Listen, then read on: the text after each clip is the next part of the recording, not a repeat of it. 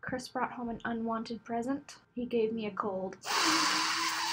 So I better film stuff now because when I get sick, I get sick for like two weeks, so you might not see me till April.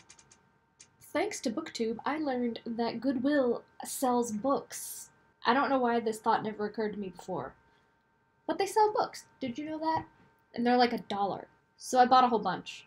And because they're from Goodwill, they all kind of smell like cigarettes. And they have really awful price tag stickers on them. Here is a very thorough and in depth showcasing of my books I got from Goodwill.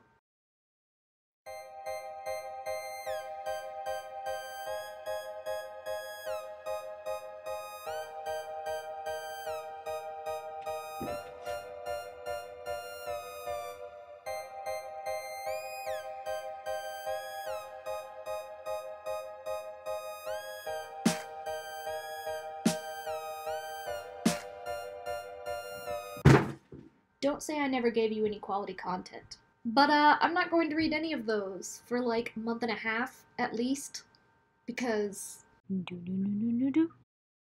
I have all those books from the library, and I'm doing a thing next month. Check out this exclusive behind the scenes look at April's totally extra and overly complicated booktube project. Mysterious thing, and you should be excited. Thank you.